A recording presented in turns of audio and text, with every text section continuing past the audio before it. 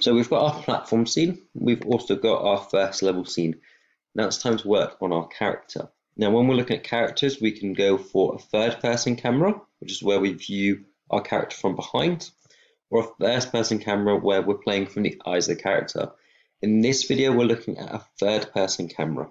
So what I'm going to do is I'm going to go to scene, new scene, and I want to add something called a kinematic body.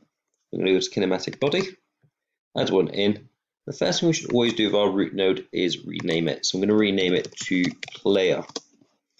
Now we'll get a warning to say that our player currently doesn't have any collision. So what we need to do is add a collision node. So under child node, I'm going to go to collision and I want a collision shape. So I'm going to add that in. And once we've got our collision shape, it's going to ask us to select the shape we want that collision to be. So I'm going to go and change it to what's called a capsule. And I'm going to transform this capsule a little bit to make it look a little bit more like a player. So first thing is on the X direction, I'm going to rotate it by 90. Second thing I'm going to do is I'm going to set the scale to 1.2 in the Z to give it a little bit more height. Now we've got the collision set up, but we can't actually see any of this in the game when we play it ourselves. So what we're going to do is add a new child node and we call it a mesh instance. So we get the mesh instance and hit create. So now we've got that set up, we can give this mesh a shape and it's going to be called a capsule mesh.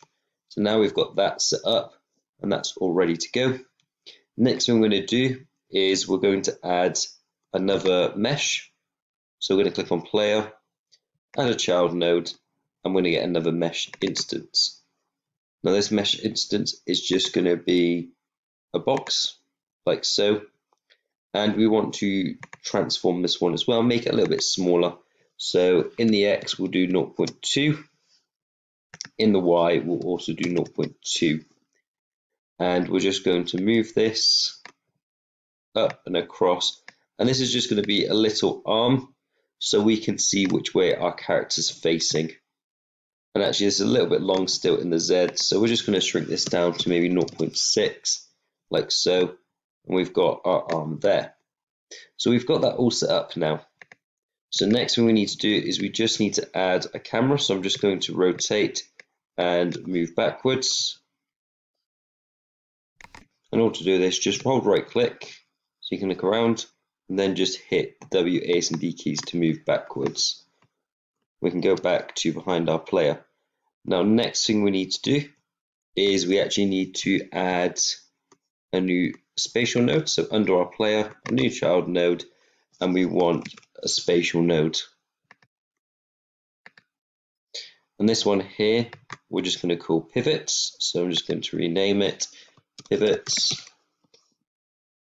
And then I'm going to grab the spatial node and move it back a little bit and it's just going to appear behind our character like so.